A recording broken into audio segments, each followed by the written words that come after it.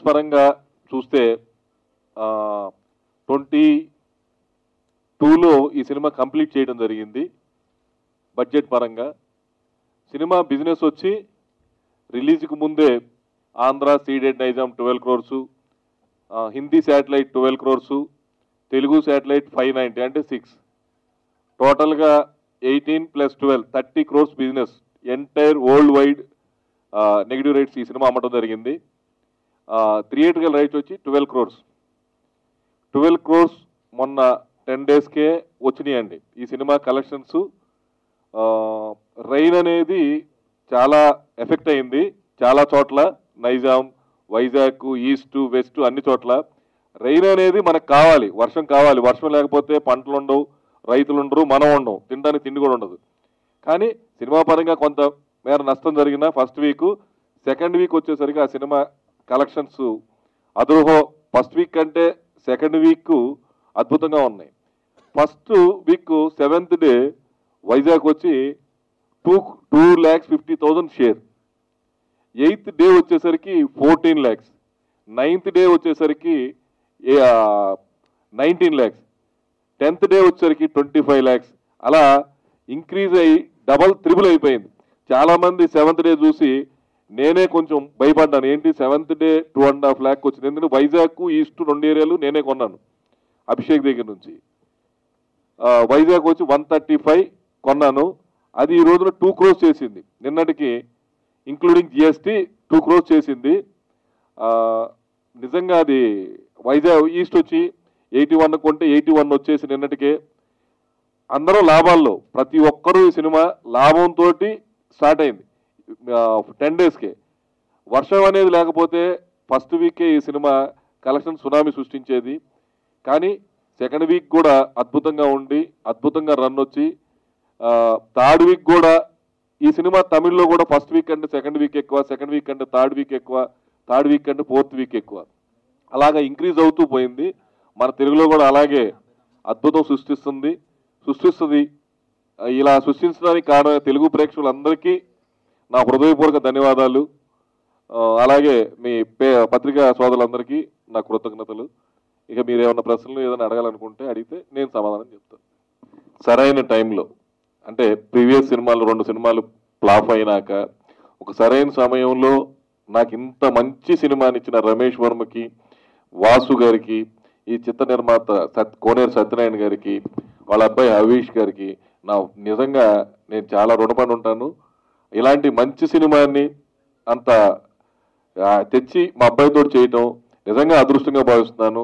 చాలా మంచి టైంలో నాకు అవసరమైన టైంలో ఈ సినిమా రమేష్ వర్మ తీసుకొచ్చి నాతో చేయటం. నిజంగా రమేష్ వర్మకి నా హృదయపూర్వక ధన్యవాదాలు తెలియజేస్తూ వాసు గారికి కోనేరు సత్యనారాయణ అందరికీ ఈ సినిమాకి పనిచేసిన ప్రతి ఒక్క టెక్నీషియన్ నిజంగా ఇంత అద్భుతంగా తీసిన కెమెరామెన్ వెంకట్ ఈ పని ఈ సినిమాకి పనిచేసిన గాంధీ ఆర్ట్ డైరెక్టర్. ఎందుకంటే రీమేక్ అనేది చాలా కష్టమైన పని. ఎందుకంటే జనాలు చూసుంటారు కొంతమంది. చూసినాక ఆ సినిమాని ఎవరు కూడా రీమేక్ని ఇంత అద్భుతంగా తీశారు. ఉంది అనే ఆనందం కంటే సెకండ్ వీక్ ఫ్రెండ్స్ అందరూ టికెట్లు కావాలి టికెట్లు కావాలి అని నాకే ఫోన్ చేస్తే అసలు అది చాలా హ్యాపీగా అనిపించింది. బట్ ఈ ఫస్ట్ నేను థ్యాంక్స్ చెప్పుకోవాల్సింది బెల్లంకొండ సురేష్ గారికి.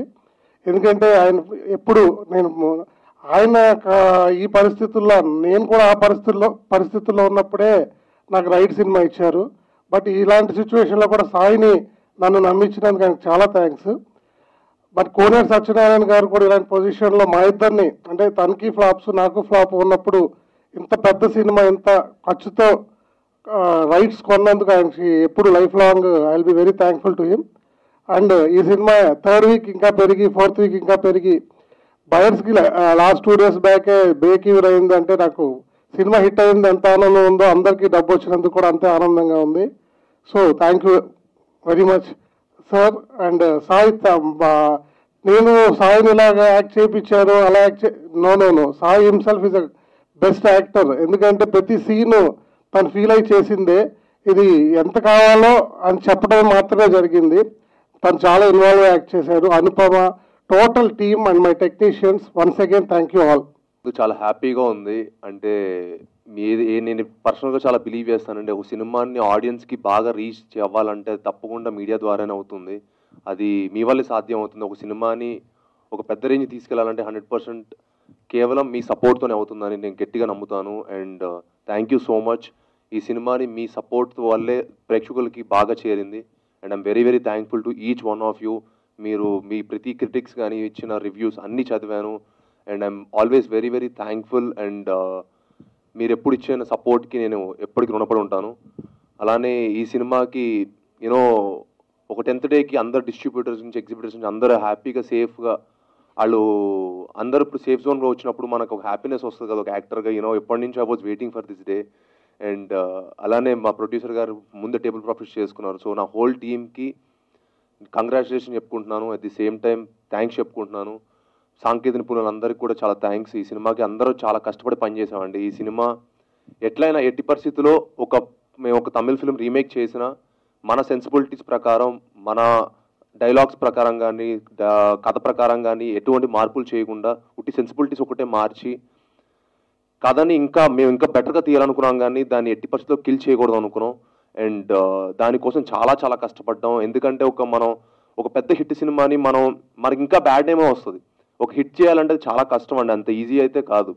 ఎందుకంటే ఈ క్యారెక్టర్ స్పెషల్లీ నేను చేసిన క్యారెక్టర్ అరుణ్ క్యారెక్టర్ మట్టుకి అండర్ ప్లే చేయాలి. నేను ముందు కాప్ చేశాను. కానీ ముందు చేసిన కాప్ ఏంటంటే చాలా టఫ్ కాప్. అంటే మనకు ఒక కమర్షియల్ కాప్. ఇందులో అసలు ఒక యాక్షన్ కానీ డాన్స్ కానీ యూనో అలాంటి ఎలిమెంట్స్ లేకుండా ఇది యాక్చువల్ చెప్పడం ఎక్స్పెరిమెంట్ ఫిలిం అనొచ్చు అండి ఇది యాక్చువల్ మన రెగ్యులర్గా మనం తెలుగు సినిమాలో చూసే సినిమా అయితే కాదు. అలాంటిది ఇలాంటి సినిమాకి ఇంత ఆదరణ పొందడం అనేది నాట్ ఏ స్మాల్ థింగ్ అంటే ఒక టూ క్రోర్ షేర్ వైజాగ్లో రావడం అనేది ఒక ఒక పెద్ద కమర్షియల్ ఫిల్మ్కి వచ్చినట్టే వచ్చింది. సో దానికి I'm very very thankful because ఈ సినిమాలో మన రిపీటెడ్ ఆడియన్స్ కూడా ఉండరు. అంటే నచ్చిన వాళ్ళు చాలా థ్రిల్లర్ ద్వారా నచ్చిన వాళ్ళు ఉంటారు తప్ప ఒక సాంగ్స్ ఫైట్ ఉందనుకోండి డెఫినెట్గా ఆడియన్స్ ఎప్పుడు రిపీటెడ్ వెళ్ళి చూడాలని మళ్ళీ ఇష్టపడతారు. బట్ అయినా సరే ఈ సినిమాని చూసిన వాళ్ళు మట్టుకి దీన్ని చాలా చాలా ఎప్రిషియేట్ చేశారు. మళ్ళీ మళ్ళీ చూడటానికి థియేటర్కి వెళ్తున్నారు. సో అది మాకు పెద్ద అచీవ్మెంట్ అండ్ హ్యాపీనెస్గా ఫీల్ అవుతున్నాం. సో ఇంత సపోర్ట్ చేసిన తెలుగు ప్రేక్షకులందరికీ అండ్ అలానే నా యూనో నాకు ఫ్యాన్స్ అంటే ఇష్టం ఉంటుంది మా జాన్స్కి యూనో నన్ను సపోర్ట్ చేసిన ప్రతి ఒక్కళ్ళకి చాలా చాలా థ్యాంక్ యూ సో మచ్ సినిమాకి బడ్జెట్ అయింది. థర్టీ త్రీ కోర్స్ శాటిలైట్ అయితేనేమి షేర్లు అయితేనే వచ్చినాయి. అదే శాటిలైట్గా నేను ఈ రోజు అమ్ము ఉంచుకొని ఉంటే రీసెంట్లీ అది ఎనిమిది కోట్లకు పోయింది. నేను ఆ రోజు కోటి రూపాయలకి అమ్మాను. ఆ పరంగా అందరూ లాభాలు పొందారు అల్లుడు సీన్. నేను నా రెండు కోట్లు అనేది నాకు నథింగ్ మా అబ్బాయి తోటి ఒక ప్రమోషన్ చేసుకున్నప్పుడు మనం మన పిల్లల్ని స్కూల్లో చేర్చే ముందు మనం ఇవన్నీ ఆలోచించాం. ఓ మంచి స్కూల్లో చేర్చాలి వీళ్ళని చదివించాలి వీళ్ళని ఐఏపీఎస్ ఐఏఎస్లు చేయాలి ఐపీఎస్లు చేయాలి. ప్రతి ఒక్కళ్ళు మీలో ఉన్నోళ్ళు కానీ నాలో ఉన్నోళ్ళు కానీ ఇంకోళ్ళు కానీ ఏమనుకుంటాం? మా అబ్బాయిని సూపర్ స్టార్ చేయాలనుకుంటాను కానీ ఏదో చిన్న సినిమాల్లో చిన్న బడ్జెట్లో చేసేసి చిన్న చిన్న చిన్న చిన్న చిన్న చిన్నగా అది ఒక పది ఏళ్ళు పదిహేను ఏళ్ళు ఇరవై ఏళ్ళు ఎన్నేళ్ళైనా పట్టచ్చు. ఆ ట- అందులో మనం రాకపోవచ్చు కూడా. కానీ ఒక commercial cinema action cinema first fifth class నుంచి ఒక ట్రైన్ అయ్యి యాక్షన్ కానీ జిమ్నాస్టిక్స్ కానీ ఒక యాక్షన్ హీరోగానే ఒక పర్సనాలిటీ ఏమీ లేకుండా మన ఇండస్ట్రీకి తీసుకురాలేదు.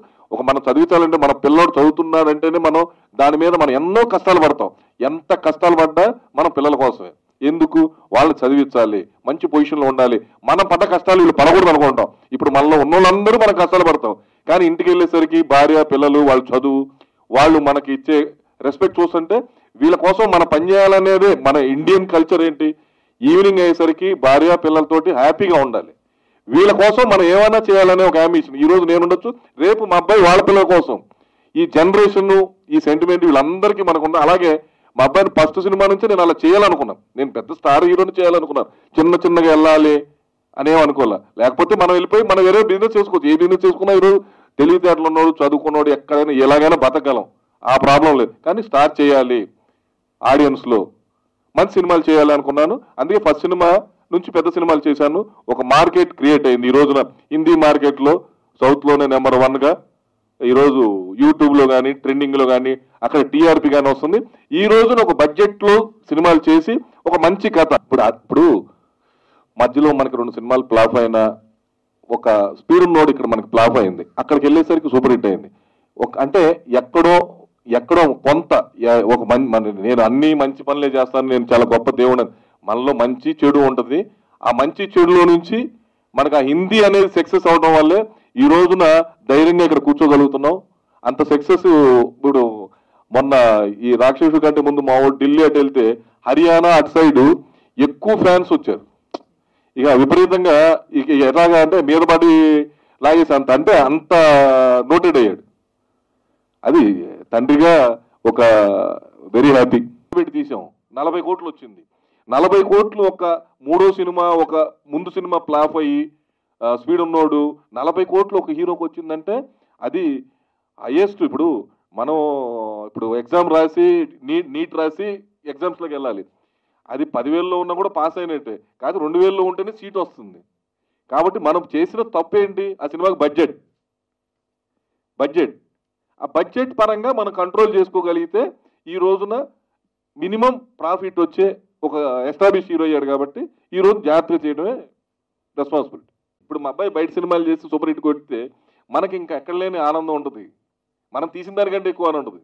అక్షసు టైట్లు బిఎన్సీల్లో కుమ్మేస్తుంది అనుకున్నాను. అలాంటిది ఏ క్లాస్? నైజాంలో నాలుగు కోట్ల ఇరవై మూడు లక్షలు షేర్ ఉంటే మూడు కోట్లు ఓన్లీ మల్టీప్లెక్స్ షేర్ ఉంది. మిగతా మొత్తం పద్నాలుగు జిల్లాలు కలిపి కోటి రూపాయలు కోటి పది లక్షలు షేర్. ఇది ఒక అద్భుతం. ఓవర్సీస్లో ఫస్ట్ టైం పే చేసింది. అసలు చూడని కొత్త ప్రేక్షకులు ఈ సినిమాకి యాడ్ అయ్యారు. అందుకని నెక్స్ట్ తీసే సినిమాకి మాస్ క్లాసు వీళ్ళందరికి ఇద్దరికి నచ్చే సినిమా చేయాలి.